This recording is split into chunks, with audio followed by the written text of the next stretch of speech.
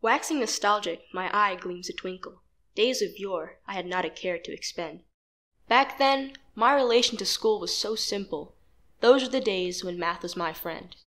Learning the numbers between playtime and naps, we counted on fingers till I knew them by heart. I'd mix up the order, or forget some perhaps. Mom and Dad would still smile and tell me I'm smart.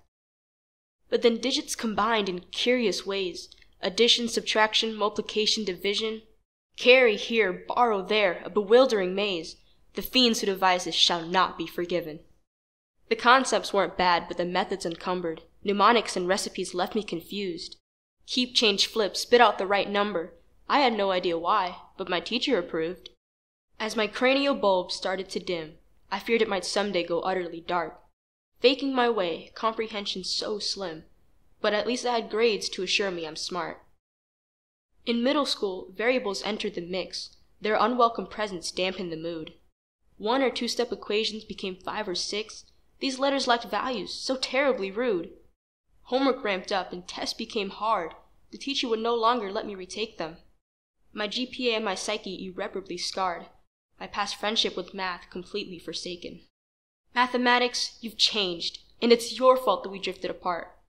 Ever since grade school, you've been acting strange and making me doubt that I really am smart. High school math, why on God's glorious earth must pre-calc and calculus be so terrifying?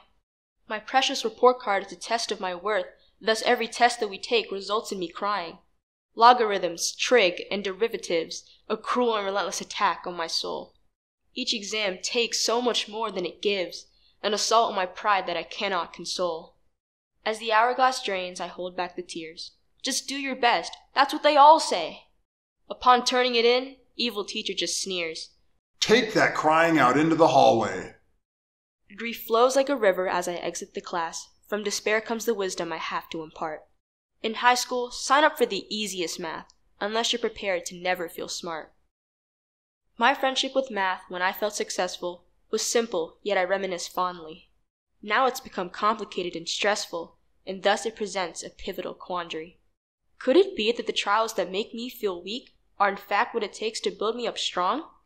If genuine growth is what I claim to seek, will embracing discomfort help push me along? Math, you and I have been put through our paces. We cannot allow our estrangement to worsen. To find my way back into your good graces, I'll step up and be the bigger person. My educational worldview could use some expanding. I'll shift my perspective and launch a fresh start.